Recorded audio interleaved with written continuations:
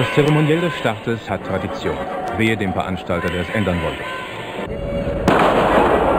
So, meine Damen und Herren, das war der Startschuss zum 24. Frankfurter Sechstagerennen.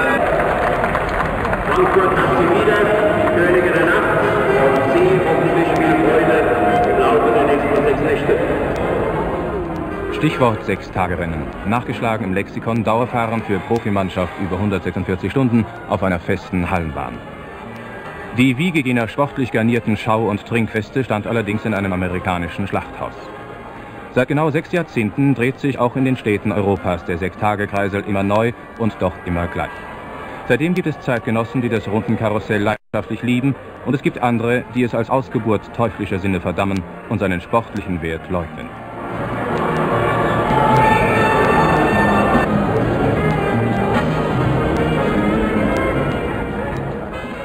Unbestreitbar ist seit eh und je die Härte der Sechstagerennen. In Frankfurt erlitt der Schweizer Fritz Pfenniger einen komplizierten Beckenbruch. Schwere, auch tödliche Unfälle stehen auf den Schattenseiten der Winterbahnbilanz. Denn eine Jagd, der Kern des Rennens, verlangt mehr als nur das Talent zu sportlicher Gaukelei. Stundenmittel von über 50 Kilometern sind keine Ausnahme. Wenn eine der Mannschaften, hier Ex-Weltmeister Altig nach der Ablösung mit seinem Partner Renz, einen Vorstoß startet, um gegenüber dem restlichen Feld eine Runde zu gewinnen, muss sie sich quälen, muss stärker als die verfolgenden Konkurrenten sein.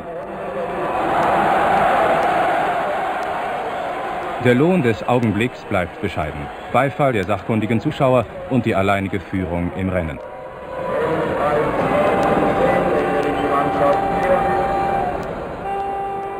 Weder dem Sechstagesprecher, der ein stets wachsames Auge auf den Ablauf einer Jagd hat, noch einem radsportkundigen Pädagogen wird es auf Anhieb gelingen, dem Laien das verwirrende Kreisen und Treiben auf dem Oval zu enträtseln. Aber gerade die ratlosen Besucher neigen zur Argwohn. Sie vermuten geheime Absprachen oder andere Hexenkünste und vergessen, dass jeder Fahrer während eines einzigen Sechstagerennens bald 3000 Kilometer bewältigen muss.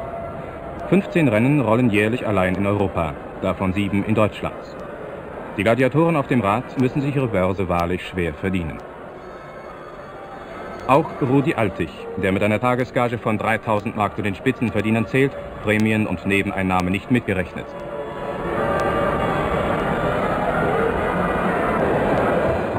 Peter Post aus Holland, der erfolgreichste Sechstagefahrer aller Zeiten, mittlerweile 36 Jahre alt geworden, liegt mit 2000 Mark ebenfalls über dem Durchschnitt.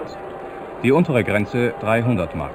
Von allen Gagen gehen allerdings beträchtliche Unkosten für Masseure, Monteure und Mechaniker ab, deren Leistung in den kurzen Pausen zwischen den Jagden besonders augenfällig ist. Berufsrennfahrer, das weiß auch der Mannheimer Debütant Jürgen Schahn, ist ein lausiger Job, riskant, voller Entbehrungen und Ungerechtigkeiten. Was beweist es, dass Rudi Altig durch diesen Sport ein reicher Mann geworden ist? Nichts, nur dass er Glück gehabt hat, zumal sich die meisten deutschen Pedaleure heute mit Existenzsorgen herumschlagen.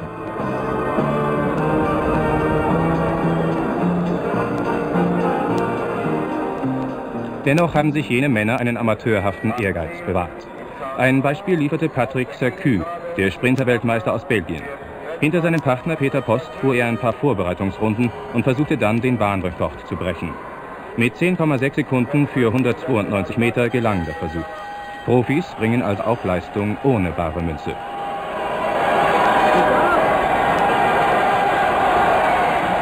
Bei Funktionären ist das selbstverständlich. Zum Beispiel Heiner Knappke, 77 Jahre alt. Mit seiner Gesundheit stimmt es augenblicklich nicht ganz. Ein verständnisvoller Chefarzt gewährte aber sechs Tage Urlaub vom Krankenbett, Six Days als Therapie.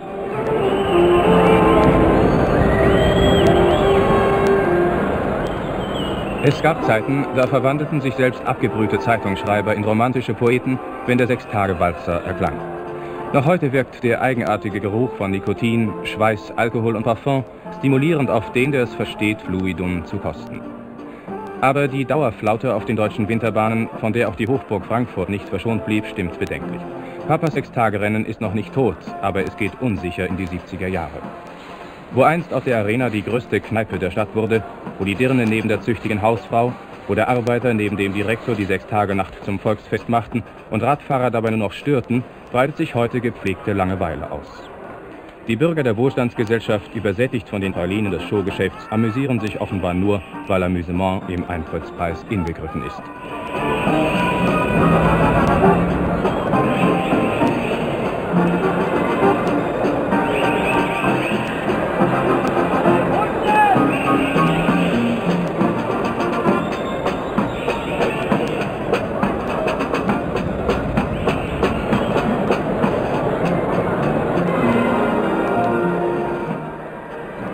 Seine Kritikfähigkeit hat sich das Sechstage-Publikum erhalten. Den Versuch, die Festhalle zur Werbung für den Berufsboxer Norbert Gruppe alias Prinz Wilhelm von Homburg zu missbrauchen, quittierten die Besucher mit einem Pfeifkonzert in Fortissimo.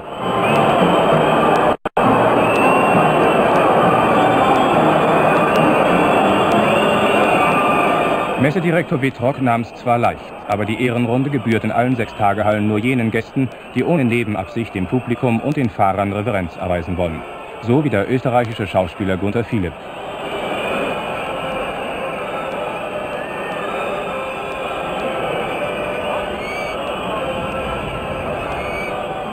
Oder Butler Martin Jente.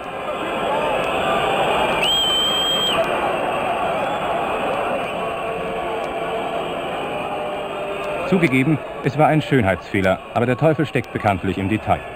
Inzwischen hat sich der Boxprinz an seine schwindende Popularität ohnehin gewöhnen müssen.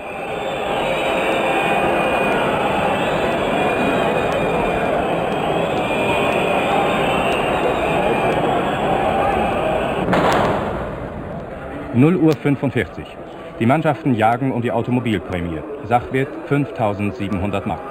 Seit einigen Jahren werden die höchsten Prämien nicht mehr im Sprint, sondern in längeren Jagden ausgefahren.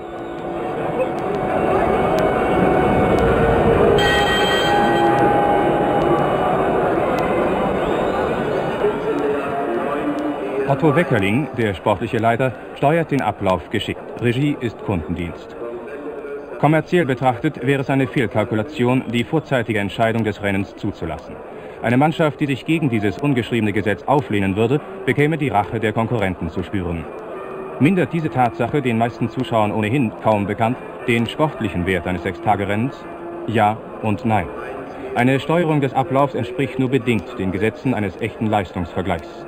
Aber der Mummenschanz gehört nun einmal zum Geschäft, das nur dadurch attraktiv wird. 4.15 Uhr. Rudi Altig gibt noch einmal Autogramme. Nach neun Stunden geht eine Sechstagenacht zu Ende. Meine sehr geehrten Damen und Herren, die Veranstaltungsleitung, die Messe GmbH Frankfurt, bedankt sich für Ihren Besuch in der dritten Sechstagenacht und wünscht Ihnen einen guten Nachhauseweg.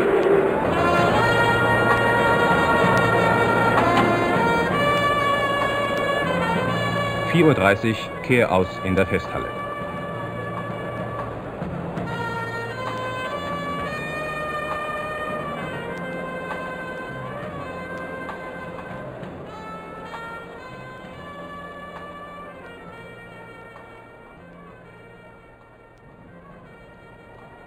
Putzfrauen vernichten den Schmutz der Nacht. Sie wissen nichts von den Ereignissen, die noch kurz zuvor unentwegte Besucher fasziniert haben.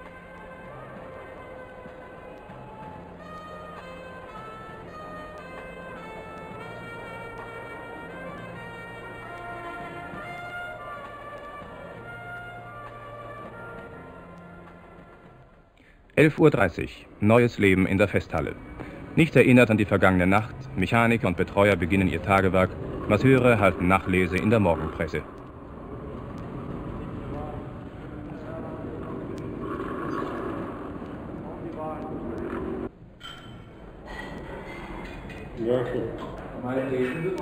Rudi Altig und die anderen Fahrer dürfen frühstücken, ein Privileg, das relativ neu ist. Früher musste immer ein Fahrer jeder Mannschaft auf der Bahn sein. Der Partner hatte am Vormittag Schlafpause. Auch bei den Radprofis geht die Liebe durch den Magen. Sie sind auf peinliche Einhaltung ihres Speiseplans bedacht.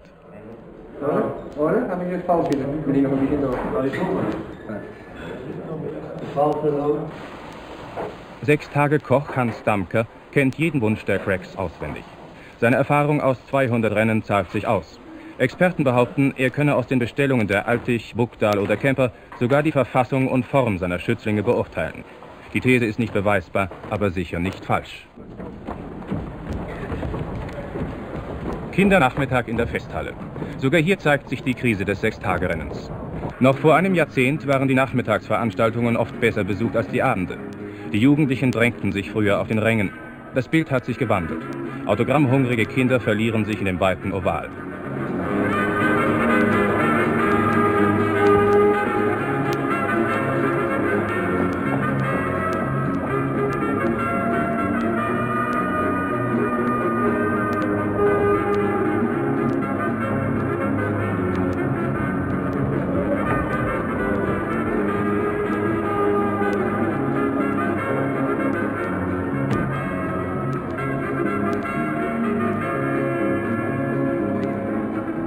Entsprechend reserviert ist der Einsatz der Fahrer, die sich einer Pflichtübung entledigen.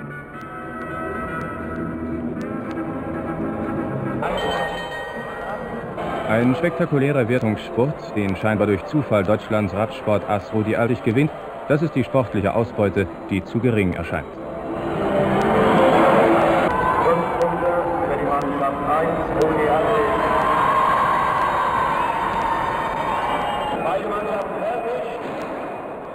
Reformen des Sechstagerennens scheinen unerlässlich. Die Verantwortlichen in Frankfurt gaben bereits dem Finale ein neues Gesicht. Vor der Schlussjagd wurde ein Mannschaftsverfolgungsfahren ausgetragen. Das beste Team erhielt zwei Gewinnrunden im Gesamtklassement. Dies war eine geeignete Maßnahme, zumindest die letzten 120 Minuten ausschließlich nach sportlichen Regeln durchzuführen. Die Kombination Post-Circuit war über die 4 Kilometer Distanz am schnellsten. Damit fiel eine Vorentscheidung. Die Publikumslieblinge Rudi Altig und Sigi Renz versuchten erfolglos, die Niederlage abzuwenden. In Frankfurt gab es diesmal kein populäres, sondern nur ein gerechtes Ergebnis. Der Vorstoß der Matadore war schnell gestoppt.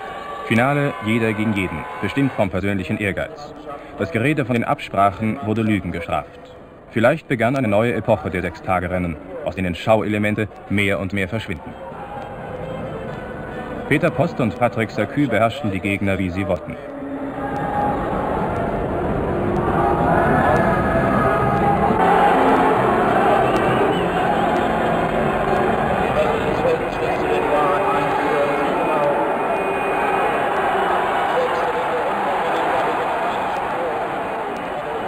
In Frankfurt gewannen die besten und stärksten Fahrer. Und das sprach für dieses Finale, auch wenn Rudi Altig die Frage nach der Ursache seiner Niederlage unwillig kommentierte. Ich glaube, es war äh, hier in Frankfurt zu viel gegen mich. Beides möchte ich mich nicht äußern. Die ganze Patrick Sarkü. Mannschaften sind äh, nur gegeneinander gefahren und äh, wir mussten immer äh, abbringen mit drei Mannschaften, mussten wir immer zurückfallen und das ganz schwer. Ja, was Peter Post. Die große Mannschaft hatte schön tegen elkaar gefahren, war ein bisschen gekracht. Maar ja, het is toch schön, uh, dat, uh, dat is een radsport. Waar ik zeer schön voor die Leute hier in Frankfurt. En ik freue mich, mijn 50 Jahre Sieg war ein sehr schöner Sieg von mir. Das Publikum reagierte wütend und demütigte die Drittplatzierten Rudi Altig, Sigi Renz. Bitte, warum diese Dritte? Die Mannschaft hat ihr Bestes gegeben. Es hat Sieg nicht gelangt, aber auch der dritte Platz. Herzliche Gratulation für Rudi Allig und Sigi Renz. Und nun die Siegerehrung für die Gewinner des 24. Frankfurter Sechstagerenns. Peter Post, Patrick Serkö.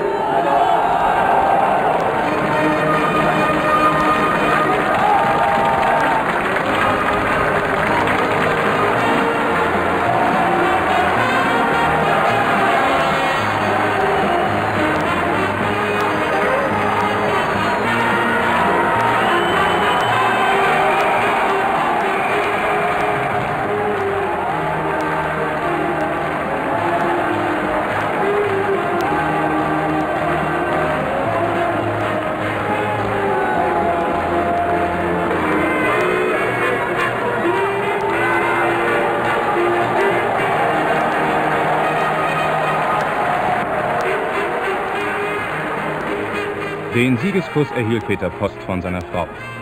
In diesem Augenblick mag ihm die Zukunft der Sechstagerennen gleichgültig gewesen sein. Sicher sogar, denn der lange Holländer will seine Karriere beenden.